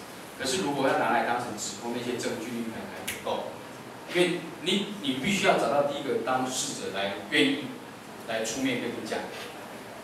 在我在做那个部分的时候，很多人都不愿意出来讲。就像我刚刚跟你讲的，我去跟那个农民谈说，你愿不愿意接受我采访？他说不行，因为我还有小孩，要念大学，我的大衣卖不出去，他们遇到这个状况。我很多时候在做研究、做采访、做报道的时候，就会遇到这个状况。就如同你要找一个证人，你他为什么愿意出来？这个部分大家都没有考量，这是第一个。所以。如果可以的话，我相信我会继续做下去。那你第一个，然后就说会不会同流合污？我想，我必须要跟你讲，我不会。好，为什么我这样子肯定的讲？第一个，我从两千零八年离开主流媒体之后，我以前在主流媒体的薪水，我跟各位讲，真的很不错，非常不错了。我现在去，我现在唯一的骗子的经费来源只会有一个地方。应应该讲说两个地方。如果我去公共电视提案、纪录观点提案拍纪录片，比如说我现在还有拍另外一个纪录片叫做《苹果的滋味》，是谈黎基的一传媒在台湾这十几年的对台湾整个影响，那个可能八月底会完成。这个纪录片我是去公共电视提案，他会给我开拍那个什么说那个制作的费用都有。如果我这样子为止，如果是可以三年拍两部的话，然后我自己去。去去做这些事情，我感觉一个月大概会有两两万块的工钱，好，一个月大概会有两万，比二十二个月还要少，那比二十二 K 要做的事情还要多，可是我甘之如饴，因为有家人的支持，好，所以我持续的去做这个部分。不能做的秘密一结束的时候，有一个朋友，他来找我，说台北市文化局有一大笔钱，有个预算。有一个案子你要不要去做？很多钱。我第一个跟他讲说，对不起，我两千零八年离开这个体制里面，我就是讨厌那个部分。我现在拍纪录片，公家单位、政府的案子，我一开始碰，完全不碰。因为你碰了，很多人讲说你去用啊，你拿公家钱来骂公家，这样很很屌啊，做不要。人家一定会讲说，你看李慧仁，你去打政府就是为了要拿案子，会不会？一定会有人讲这样子话。当然，你可以花很多力气去解释。人生那么短暂，你还要花那么多力气去解释，你就不要去碰它，去不用解释，就不会有这些事情。所以这是我的坚持，啊，这是我的坚持，所以我不会去碰。然后后来，接下来你讲说那个重东西重不重要？因为还有很多东西，有时候我都觉得说，哦，我在做的事情就是如同一个拼图。如果一个新闻事件的一个真相，它是一个二十块的拼图才能够把它拼成一个原貌是这样子。我今天做的也许是只有其中的一块，这一块没有办法让整个真相呈现，可是它有没有贡献，有没有价值，绝对有。因为你把它这一块还原到它应有的位置的时候，别人可以透过你那个外面的形状，再去把其他的那个拼图把它拼上去。如果你没有去做这个部分，它没有一个一个所谓的依循的部分，能够去确认说第二块要定在哪里，第三块要定在哪里。我这是我我对我自己的一个想想象跟一个看法，我不知道这样子你能不能够了解？对，谢谢。呃，访问还有没有？没有，那就好。你答完是吗？你答当这么久，啊，我是说观点哈，如果把它量化的话，你认为，呃，哪一种观点量化的程度哈越高越比较欣赏，越越受大众传播媒体的欣赏，谢谢。哎，这个很难量化哈，不能说的秘密哦，很多朋友讲说哦，你电影就好看，我讲干那好看。伊讲吼，这纪录片吼，那剧情片我讲对，因为吼，迄演员拢免甲混的，伊就出来演的，然后后面有够厉害啦，就充满了张力。因为什么？他们做的事情匪夷所思。我讲你感觉啊，其实都不阻止农委会了，很多部位都一样啊。你看迄个啥，迄个刘正宏，是啊，对不？到处都一样的。天赐良机啊！上天给的机会。对，哎，所以讲我们就要来讲这当的。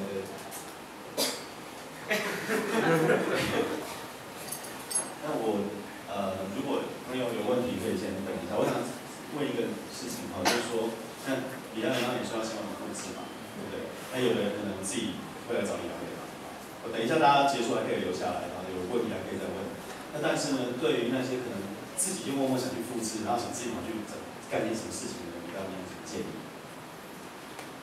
我觉得哈，其实现在我我讲说这两年台湾的公民社会其实有在长大，真的有在长大，我觉得这很好，这是一个多元的民主、多元的社会里面必须要有的一个部分。我觉得我们现在缺一个平台。你说假如说 Facebook 有啊，有平台啊，然后那个按一个赞之后，你很快就会忘记了啊，那个不算是一个很很强而有力的平台。所以我看到七盟，我觉得，比如说我我不是，我就讲，会看到只有我们这样的一个环境啊，不管是什么，有很多的地方，我觉得某个程度来讲，也许啦，如果可以的话，我们把它变成一个平台。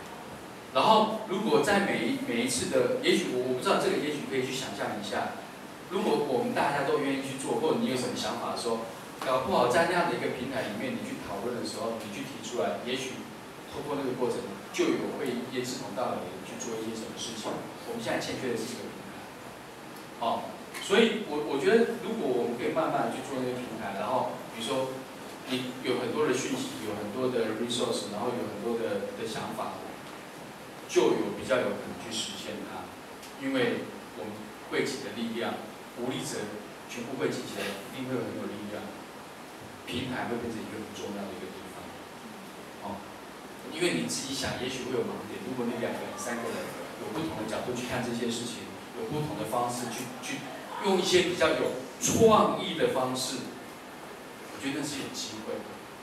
好，也就是说，希望能够有再去创造出新的品牌来，让想从事这方面的事情的人。我觉得那个平台也也许不是一个所谓的一个媒体哦，哦，也许是比如说像折舞折舞的这样的一个环环境里面，比如说也许，搞不好每个礼拜我们比如。最后的几分钟，或许大家交流，然后去谈什么事情都有可能。我觉得可能性太多了，哦，都有不同。比如你每天不同的主题，就如同很多大哥讲的，你每每个礼拜谈的那个部分里面，都一定有很多的故事，有很多的不能说的秘密，有很多的调查，很多不为人知的秘密在里面，我们都可以去做。因为比如说，就我们一个影像工作者来讲，或者一个记者来讲，他所接触的并不是那么广泛。到目前为止，我可能因为盯农委会盯得比较紧，哦，所以可能现在我的我的做法就是这样子。我现在可能以前在农委会的那些记者，他比如说李慧仁这两怪怪，哦，从两千零零六年、零八年开始，我就追着农委会跑，然后他们觉得说一定工厂话听我啊。那后来他们现在知道，有时候他们不懂，他们会来问我，我都很愿意花一个小时、两个小时去跟他们讲一件事情。解释这个事情可能不是那个样子，不是官员他在骗你，为什么我会花很多事情解释给他听？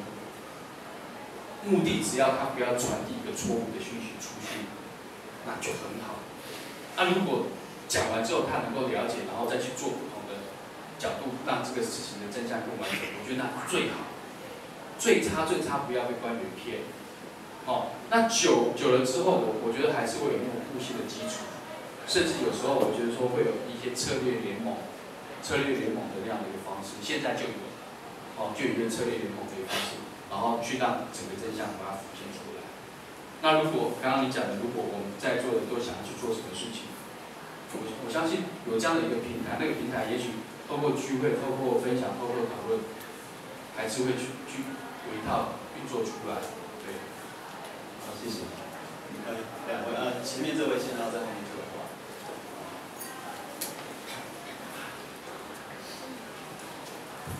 导演你好，就是刚第四号的那个影片，两个镜头印象很深刻。然后想要请问，就是你自己的心路历程。第一个是当你上咨询台的时候，说出这是一个最大失误，然后有一位突然转身回去再给你那一句话的那个，我相信你内心应该有感受。然后第二个是你在后来立法院不是调那个放录音带，然后当播放到他确实有说谎的那一个几秒之后，就想听你当下心里面的感受是这样，因为纪录片可能是呈现客观的事实，没办法听到一些你主观的感觉。因为我发现就是你最后面一句话就是说你悄悄的离开立法院，那个悄悄的应该有什么弦外之音这样，对，然后听你的分享，谢谢。其实我悄悄的离开，我是悄悄的去一个地方。跟另外一个地方有约，黄文丽，台联的黄文丽，我跟他约了，约好了。其实那个时候，其实还是他手上有一些资料，我是去找他跟他去确认一些事情。因为接下来那个部分，如果我没有离开，媒体一定会来找，会来找我，就先离开了。我觉得不要让你去找徐天来就好了。真的没有，那那刻真的因为很清楚，不需要你再去多讲什么了，我都知道了，我就离开，因为我有事情，我觉得更重要的，我要去做更重要的事情，而不是去上媒体去再去去反驳他，因为过清楚啦、证据都确凿在那边了，不需要再去讲什么。那其实在这个过程当中，我觉得很有趣，跟各位分享啊，呃呃，还有另外一个部分，你讲说那时候他来呛我说不要乱讲话，我心里面当然。可是后来那个录音带播起来，当然很爽啊！哦，当然是这样子啊。那我后来，我我觉得说分享一个部分是是，很多人讲说哦，一个人啊，你好就是有被你啊，被探级啊，被受伤啊，哈，被被 DVD 开始 DVD 或几千几有一个，哦，然后被被疫苗，还有人讲说我要去卖疫苗，天啊，我妈呀，哦。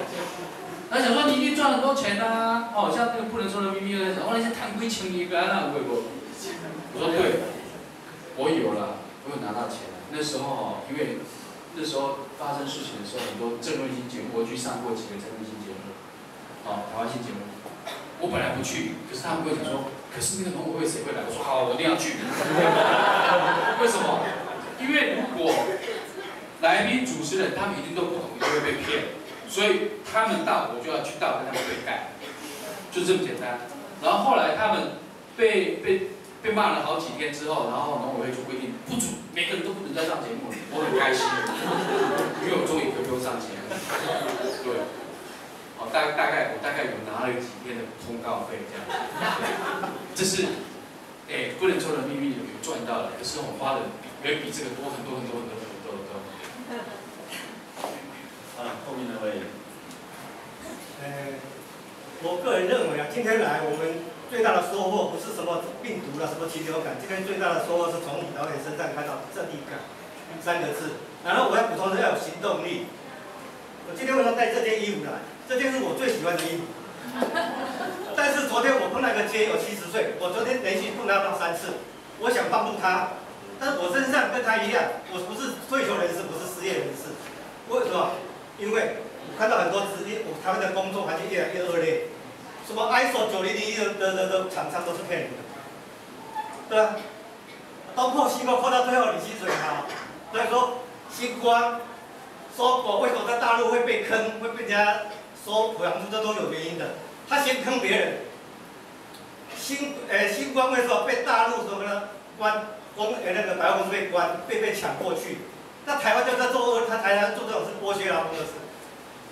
我做他的保全，还要去找良民证，去维修水电还找还去申请良民证，然后没有盖手印的哈。啊，抵薪水哦，给你三万，实际上他把你报税是报三千四百块，他就要要逃漏税金。包括辛苦你来拿还日夜轮班，负责收货旁边那个华纳维修旁边那一栋，我做了两个半月做不下去，那那一栋也是。反正该保养的都不保养，所以来市场会烧掉。只是说，因为我心里有数了，啊，只是说我们现场离开，免得说变成一个痛患。好，所以说，但是我说的，我跟各位讲，我经常我袋只剩下不到一百块哈，我都不会紧张。我说一百块，我要最最大的效益，做一件对社会有益的事。三十年前我就做过啊，啊，因为我看中华路有一栋最雄壮的建筑物，我不知道它是什么机关，但是国企非常破旧。我觉得不看不下去，我就到我到邮政博物馆下车就把它写挂号信，但是我知道地址啊，中华路第一间啊，原来是台北市国税局。我写挂号信，我写挂号信给他们说，国企不能这么旧，这这是对的。对来讲，一个雄伟的建筑，这些破旧的国旗，门面问题。但是我觉得我不是要标榜，只是说有正义感之后还有行动力。虽然你口袋，哦，昨天我本来这个节友问他有没有吃饭，我想说一个，就在这好这前面而已。我想说，我我自己跟他离菩萨过江，我我那万一我要惹上麻烦怎么办？我说今天都带这件衣服，等天早晚饭他一天在附近，我把我最喜欢的衣服送给他，对不对？就是说大家要行动力，谢谢。谢谢。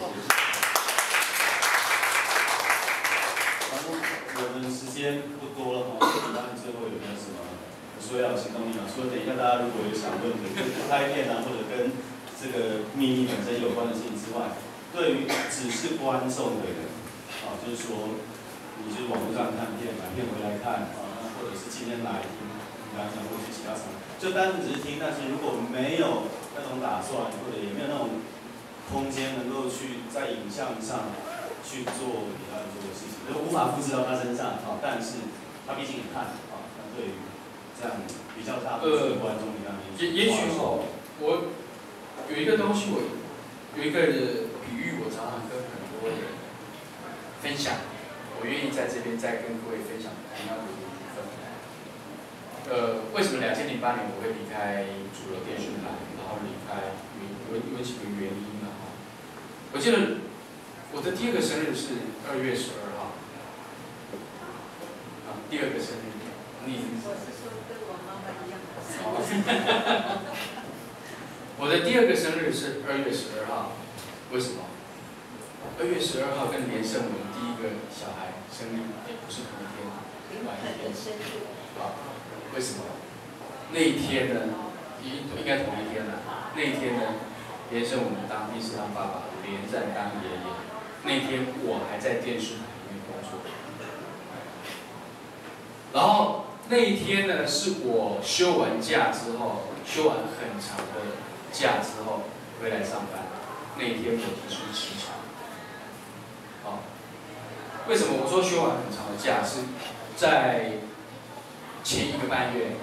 那有一天我接到我姐姐的电话，说爸爸在急诊室抢救急救插管急救，因为我爸爸就呃心那什么心律不整导致心肺衰竭，然后去急救，然后是晚上大概十一点多的时候，然后去急救的时候，妈妈呢没有第一个时间告诉我。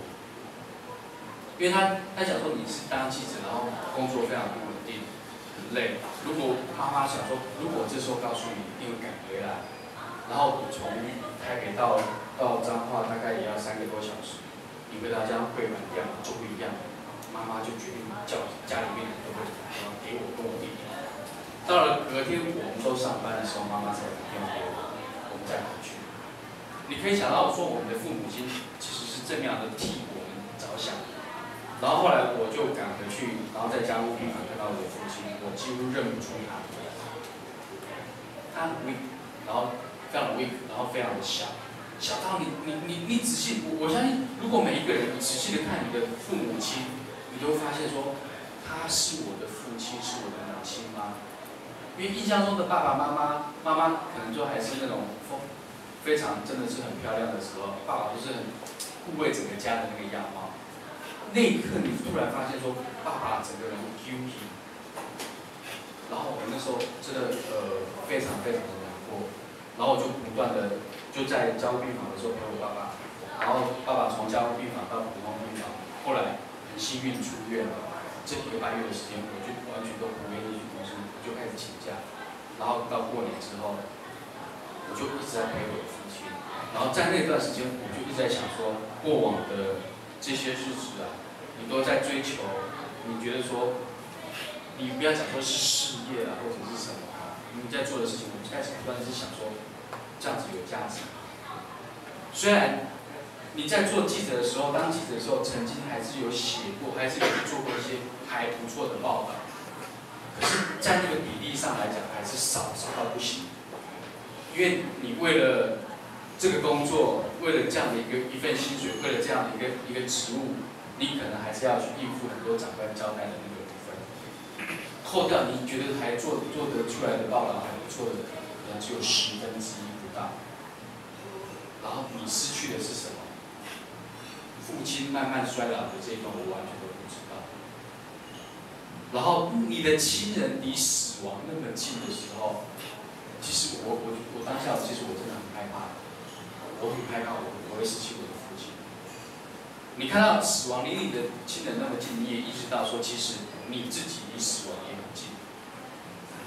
如果我们每个人都可以活八十岁，我那年就刚好四十岁，人生过了一半，八十岁的一半。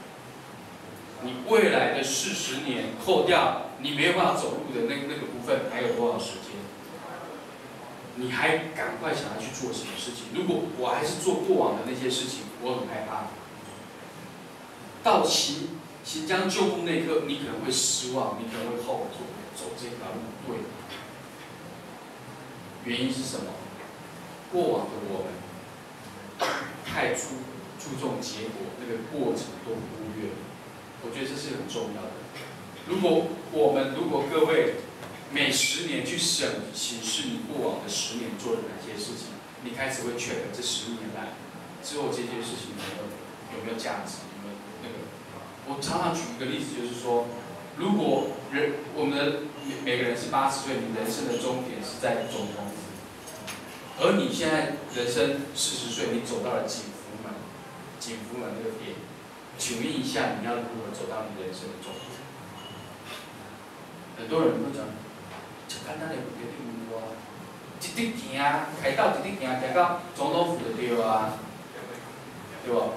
行袂过对不？有锯嘛，有警察啦，有警察，还有宪兵便衣对不？哦，你讲无啦，听候，咱就为为抗争的时，咱就当边看，啊，反正伊控掠走，够再走的时，咱行就好啊。很多人会这样子啊，对不对？不关我的事，我在旁边看就好啊。红虫叶你都会讲掠去啊，对不？惊啥？锯马会拿走啊，我们再走过去就好了。我的意思是说，绝大部分人都会觉得说，这一是一条康庄大道，很好走，走到你人生终点，没有错。我不可否认，它是一条最好的道路，最平。转台湾上好路就你开到了，因为一定要袂当赢，因为袂当赢，所以讲吼，比高速公路较好。对啊，它是一条康庄大道，可是你走到你的人生终点，你不会有惊喜，绝对不会有任何的惊喜。你会说导演，那你要怎么走？很简单啊，你可以往往左边走，往右边走啊。你走右边，走到哪里？右边第一个你碰到的是台大医院，对不对？台大医院你看到什么？你就会看到跟我在医院里面看到爸爸的那个状况一样，你可以看到生老病死，你可以看到重生的喜悦，这个是你在凯道看不到。你再往前走，你可以看到什么？看到教育部，对不对？接下来第二个好像是教育部嘛，你看到他的，哎，你又看到洪崇彦跟陈伟霆在那射飞机，对不对？我我常常想说，对了，接下来好了，我们才哦，现在有多少人在助学贷款？真的，你可以看到这群学生愿意去做这些事情，愿意去争取这些事情，你可以看到这些官员的嘴脸。你再往前走，再走到哪里？走到立法院。我常常在立法院那个济南路跟那个中山南路那边，我常常有一个画面，我非常感动。教过一个地方，是吧？济南教会。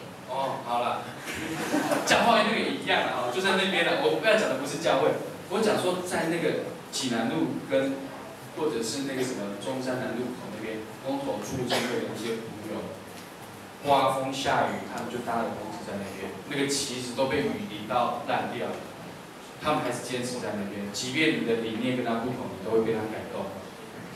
然后我你还可以看到一些很多人为了他的坚持，在这边做一些抗争。你再往前走，还可以看到没有牙齿的老虎检察院，对不对？再过了一个行政院，你还可以看到什么？行政院的侧门那边，如果你很快速的经过，你从来不会看到有一对兄妹每天都在那边抗议。抗议完之后，红从业又来了，他们又把他站在那边，然后搭了一个棚子在那边，他们一起抗议，好热闹。我的意思是说，这些东西是你走台道绝对看不到的。你再左转到中孝东路、中孝西路的走到捷运的二号路口下去，你看到了什么？看到那些脑筋麻痹的朋友在那卖太阳花，用他的力量在卖太阳花，对不对？你再从八号出口走公园路走到二八公园，你看到了什么？看到历史的教训，对不对？然后你再慢慢慢走，从走走到总统府的车门。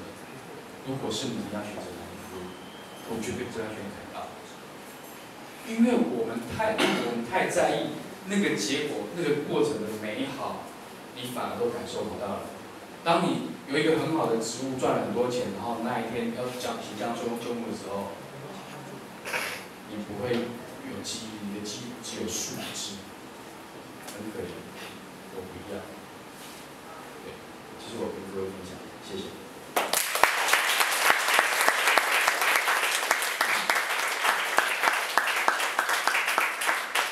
好，那呃，我们今天时间的关系，我们活动就先到这里。但是大家还可以留下来，我们这里应该还可以留到晚上，对，通常到一点，我都还可以到。那那所以呢，呃，我明天，那明天呃的活动，明天下午呃我们有一个呃热变中国的读书会，那主题是得吗？主题是那个世界体系中国崛起与台湾价值。